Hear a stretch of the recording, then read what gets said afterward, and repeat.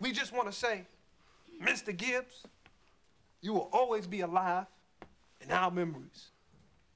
Keep Gibbs alive. Keep Gibbs alive. Keep Gibbs alive. Say it with me. Keep Gibbs alive. Keep Gibbs alive. Keep Gibbs alive. Peace, y'all. That was great. We love you. Yeah. Excuse me. Why are you taking that gift? Oh, you you mean this gift? Oh, Lord, forgiveth him, rebuke him, please. For he know not knoweth what he done doneeth. Lord, if you... Look, I'm sorry, Miss Gibbs. I can't lie to you. The only reason why we came here was to give him this this stink bomb. I never had anything nice to say about him. In fact, the only thing I can remember he ever taught us was Write, Write what, what you you feel. feel. Well, can't you at least do that?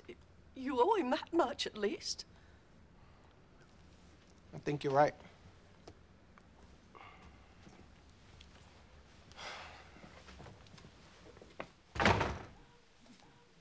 Mr. Gibbs was one of the meanest, cold-blooded, evil teachers I've ever had in my life.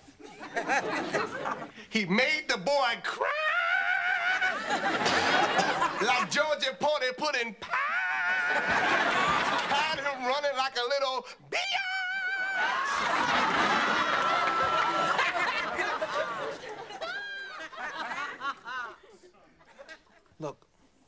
All I know is he was hard on us for one reason. One reason only. Because life was hard. Because life is hard. So I guess what I'm trying to say is thank you, Mr. Gibbs. Thank you for preparing us for life. Rest in peace.